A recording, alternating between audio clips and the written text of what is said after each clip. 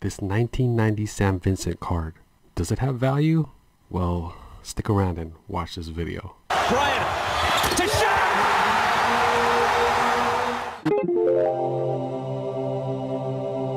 Hey, what's up to all my sports card collectors? Jets Mamba back with another video. Now, if you guys are new to the channel and you're into budget buys and you want to know which card to invest in, well, this is the channel for you guys. So I just wanted to do something a little different. I just wanted to go over this, this 1990 NBA Hoops Sam Vincent card, card number 223. Now, for those of you don't know, the reason why this card has value is because it has Michael Jordan down here and he's wearing the number 12. So you have Michael Jordan down here and he's wearing the number 12.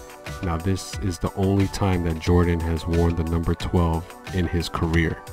Now let me just give you guys a quick backstory on the reason why he's wearing the number 12. The Bulls went to play the Magic in Orlando. Arena security actually went into the Bulls locker room and took Jordan's jersey and they actually hid it in the ceiling. So when Jordan went to get dressed for the game, he couldn't find it. What happened was they had another extra jersey lying around and it was just a, a Bulls jersey with the number 12 on it with no name on the back. So he actually played with it. That was the only time in his career he played with the number 12. Jordan actually had a good game. He went off on that game, but they actually ended up losing. So it turns out what happened was arena security, they actually went into the room and they put it in the ceiling and when they went to go inspect the locker room, they saw that they looked up and there was like kind of like a tile in the ceiling kind of misplaced. So then, then they opened it up and there you go. They found the jersey in there. The arena security was planning on going back and getting it at a later time.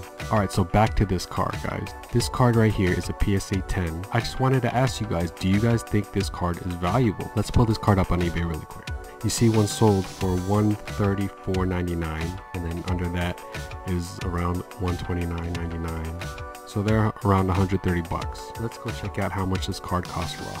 The cheapest one is going for 4.99 plus 50 cent shipping.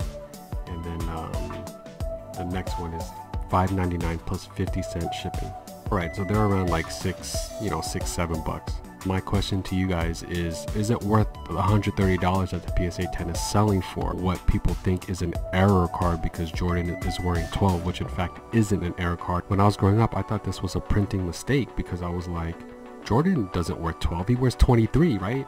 But then you know as I grew older I, I did more research into this card and I was like okay so he actually wore the number 12 to the game it's a real jersey, so it's a legit card. So the reason why this card does have value is because he's wearing 12 and Jordan never wears 12. And this is the only time you see Jordan wearing the number 12. So does that give it value? Does that warrant this card to be $130 in PSA 10 condition? I think it does because again, it, it's kind of like a, a one of a kind card, you know. How often do you see Jordan in this number 12?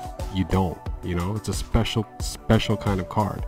Even though it's not a jordan card it's a sam vincent card i think it has a ton of value. Now do i think this card will go up? I bought this a while ago under a hundred dollars and it's slowly been going up. As you can see it sold for 130 if you pull it up on ebay and see if there are any listings for it there are actually no listings. So i mean that's a good thing. So that means that if i list the card I can actually list it at any price that I want really. Of course you're going to want to see the history of the card if what it sold for in the past and kind of go higher or increase it a little bit but it's always good when you have a card that's not listed on eBay. Alright guys, so let me know in the comment section below if you guys think that this card has value, if this card is worth the 130 that it sold for last time, or if it if it's worth more or less. If people are listing this for hundred bucks, I would actually buy more of it. You know, just let me know your thoughts on this card. If it has any value, it's you know Jordan wearing the number 12. So, alright guys, thanks for watching. Hope you guys enjoyed the video. Make sure you guys stay tuned for my next episode. Alright.